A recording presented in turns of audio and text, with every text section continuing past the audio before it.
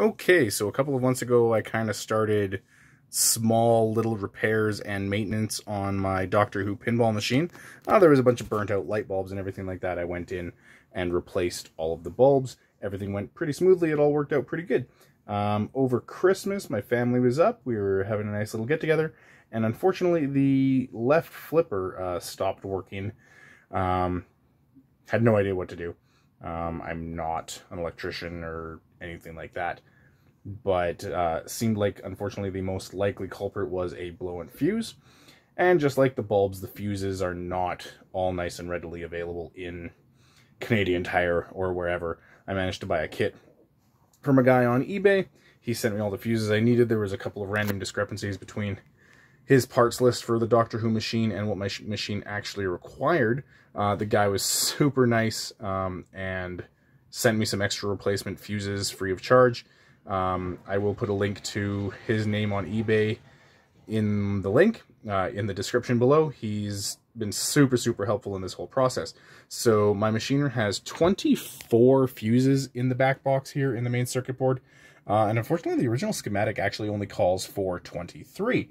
Uh, and a couple of the part list numbers are different than what he had.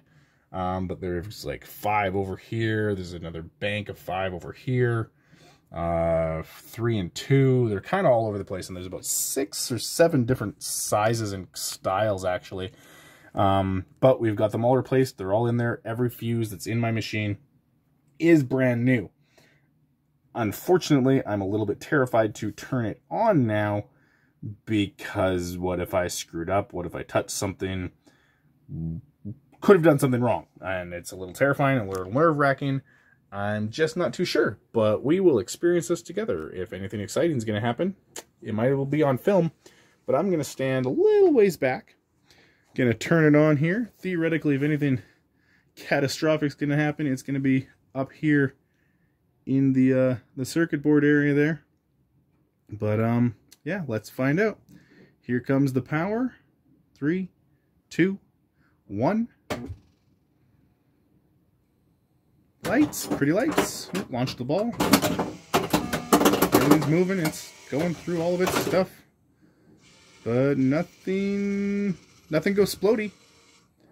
So what we're going to do now is I'm going to start a game. And we're going to see if the flippers are all working. Game start. Right flipper already worked, but let's test it anyway. Right flipper works.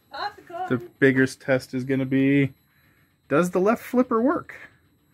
And yes, it does. Success. So yeah, it was just a, a, burst fuse, but I went in, it was probably just the one that was burnt out, but I replaced all of them just to get a nice clean start. Uh, you know, some of the small repairs that I can actually manage on my own without taking it to a repair shop and spending a ton of money. So, yeah, it's all up and running. Nice brand new lights, nice brand new fuses. Everything, it seems to be working pretty good. Obviously, I need to, you know, give it a couple of playthroughs just to make sure that there's no other issues that come up. But, yeah, looks like I can finally get back to playing my pinball machine that's been sitting in the garage for the better part of the last three years. Awesome.